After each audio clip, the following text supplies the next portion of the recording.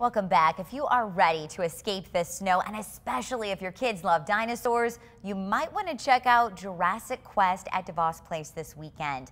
My family and I got to meet somebody pretty special there yesterday.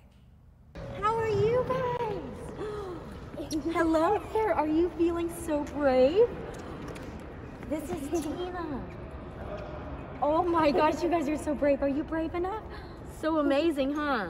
Something totally epic is at DeVos Place this weekend. I'm here with Brittany. Brittany, who do you have today? So this is Tina. She's our baby T-Rex. She's one of the three T-Rexes that we offer for guests to meet at a six feet social distance.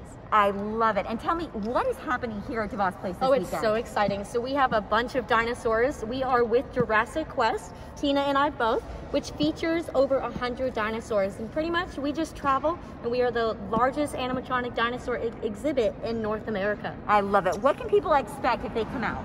You can expect two different exhibits, whether it's our aquatic dinosaurs, which features our 60-foot megalodon, and 100 animatronic live mammal dinosaurs, the ones that walk on land, as well as dinosaur activities, inflatable bounce houses, fossil digs with dinosaurs, dinos that these kiddos can ride on, baby dinosaurs like Sweet Tina here, and a raptor training experience as well. And there's a bunch more. It sounds like a total blast. Thank you so much for introducing us. Of course, she's being a good girl this week. she certainly is.